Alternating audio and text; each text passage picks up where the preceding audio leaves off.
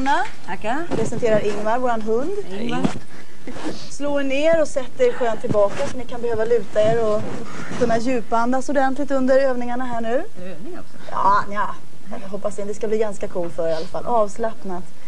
Kiki, jag har tagit reda på och fått höra att du har gjort 30 LP-skivor. Stämmer det? Ja, det. Och sen är det 26 guldskivor. Du är med och håller räkningen där. Och sen har jag hört att Kiki har sålt 30 miljoner LP-skivor i Sverige. Det? Ja, vi, det var ju... Hur som helst, tre miljoner. Ja, jag tog i lite grann. Jag tycker vi ska plussa på en nolla. Men du Kiki, hur sjutton kombinerar man allt det här med samtidigt också vara mamma? Ja, hittills har det gått bra. Vi har ju en till hemma som är två år. Ja, Man, man dras med prestationsångest och lite ja, samvetskval. Man ska inte behöva ha det egentligen för att vi har väldigt fint ordnat åt bägge två. ja, Det är farmor, det är barnflicka och lite olika kompisar. Så. så det funkar. Kjell, hur många av alla de här låtarna har du varit med och skrivit? Ja, nej, jag har inte skrivit så många låtar faktiskt till Kikki, men Men det- någon har det väl varit kanske. Genom alla åren. Ja, jag har spelat många låtar. Ja, vad gör ni just nu, du och bandet? Ja, vi har i dagarna börjat spela in nya LPn då. Okej. Så att eh, vi har semester från turnerande från eh, är det, mitten av december till mitten av mars. Så just nu är det ingen som kan se er ute i landet fara runt Nej. och spela i alla fall. Kikki, du då? Ska du vara med i slagfestivalen? Nej, Inte i år? inte i år. nej. Kanske kommer igen nästa år? Ja, får vi se. Hörrni, nu är det dags för grillning. Jag tror att eh, vi sätter igång med det vi kallar för busförhöret.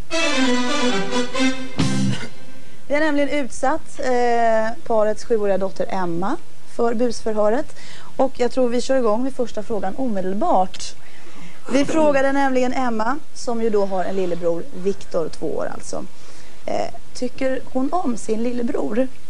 Svarade hon då kort och gott, eh, han är dum. Eller svarade hon, han är bra att ha, för jag kan ju skylla på honom när jag har busat. Eller svarade hon, han är jobbig för mamma och jag får inte sitta vid pianot i fred och sjunga. Hon säger ofta att han är dum faktiskt. Ja. Men det är när han river sönder hennes Barbie-dockor. Jaha ja. Satsar ni på det? Nej, jag, jag håller på andra. Faktiskt. Nummer två där, att han är bra att ha för att skylla på. Ja. Vi tittar på bandet. Dum. Är han dum? Ja. Vad då då? Han går in på mitt rum nästan varenda gång jag är i skolan. Vad gör han där inne då? Stökar till. Ja, jag hade rätt ju. Ja, det får man väl fel. säga. Mm. Ja, fel. jag har fel. Du hade fel, ja. Fick jag Pappa hade fel. Ja, vi går vidare med fråga nummer två. Vi frågade Emma om hon önskar sig fler syskon. Tror ni att hon svarade eh, nej, Viktor får gärna flytta hem till mormor? Eller sa hon bara en syster? Eller sa hon ja, gärna tre likadana till som Viktor? Ja, sista är det definitivt inte. Första ligger bra till där va? Morfar, mormor, eller vad var det? Ja, Morfar? Viktor får gärna flytta hem till mormor. Ja. Eller farfar är far med va? Ja, hon är nog på tvåan. Att hon vill ha en lilla syster. Ja, hon har sagt det mycket. Hon vill ha en Mimmi. Det är någon som ni har pratat om eller? Vem bestämmer? Vem bestämmer? Jag. Mor eller far? Kiki bestämmer. Vi tittar Och- på bandet. Bara en lilla syster. En lilla syster. Mm. Då skulle det vara värt det att ha fler syskon. Vad skulle ni göra tillsammans då? Hon kunde få vara med men inte Viktor. Det är läskigt med lillebror. Ja. Ja. Ja. ja, där ser man. Eh, vi gick vidare och frågade Emma hur hon vill se ut när hon blir stor. Tror ni att hon svarade som Marie Fredriksson? Eller eh, jag skulle vilja ha så långt hår så att jag kan sitta på det. Eller tror ni att hon svarade jag vill se ut som mamma fast smalare? Det är frågan. Det får nog mamma svara på tycker jag. Alltså. Ja, jag förstod jag genast. Eh, hon snackar mycket om sitt hår. Att hon vill ha, hon vill ha långt ner på stjärten. Jag tror vi satsar på det. Ja, Det möjligt. snackar vi mycket om hemma när vi är ensamma hon och jag i alla fall. Jag hade väl varit Fredriksson kanske. Hon har ju inte så långt hår. Nej. Du hade valt Fredriksson. Jag, jag tror vi tittar på bandet. Jag skulle vilja ha så långt hår så jag kan sitta på det. Ja! Kikki, du känner din dotter. Jajamän. Men Typ hur är det med dig? Han är inte hemma lika mycket som jag på dagarna. Han sitter i garaget och spelar gitarr eller? Ja, Någonting, någonting sånt. Ja. Eh, hörni, vi frågade Emma vem hon tror bestämmer i Sverige. Det är ju intressant. Eh, och då undrar vi om hon svarade Vet inte, pappa bestämmer i alla fall hemma.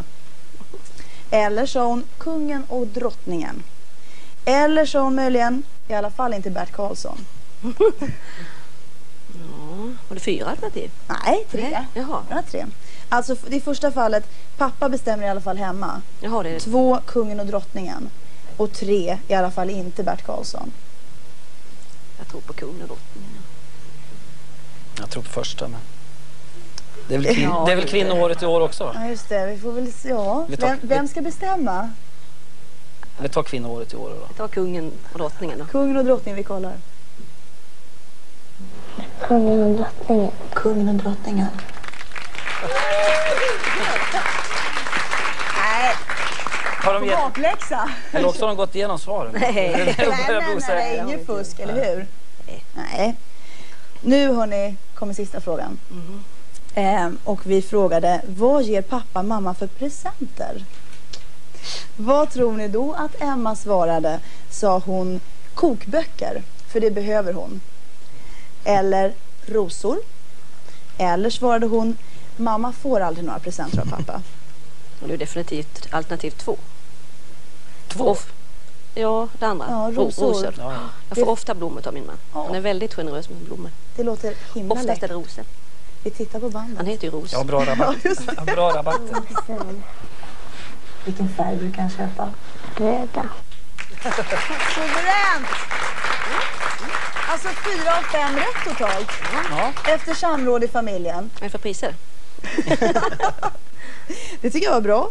Eh, jag föreslår att vi tar, tar in eh, Emma helt enkelt och får hälsa på henne. Emma, välkommen in!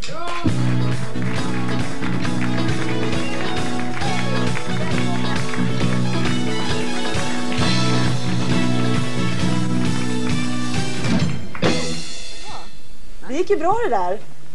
Var det läskigt att vara med i busförhöret? Nej, Lite tröttsamt kanske? nej. Det var ett långt samtal vi hade där. Ja. Ja, sådär. Du Emma, vi satt ju där och frågade lite grann om vilken låt som, som du tycker att du kan allra bäst av alla din mammas låtar.